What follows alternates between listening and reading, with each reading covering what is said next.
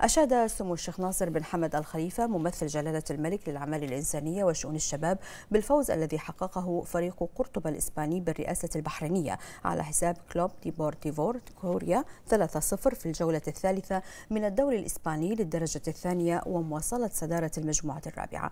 أوضح سمو الشيخ ناصر بن حمد الخليفة أن هذا الانتصار يجسد الدور البارز والجهود الكبيرة التي يبذلها اللاعبون والجهازان الفني والإداري وعكس الصورة المتطورة للفريق الذي يسير بخطى ثابتة نحو مواصلة تحقيق الأهداف.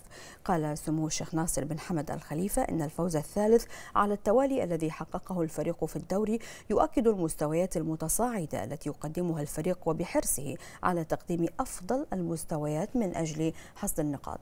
أضاف سمو الشيخ ناصر بن حمد الخليفة حريصون على مواصلة دعم الفريق لتحقيق الأهداف وثقتنا كبيرة بقدرات اللاعبين في مواصلة الانتصارات ونتمنى لهم كل التوفيق والنجاح. النجاح. رفع قرطبة رصيده إلى تسع نقاط في صدارة المجموعة الرابعة وسجل أهداف الفريق ويلي ليديسما جلان هدفين وأنطونيو كاسكاس هدف.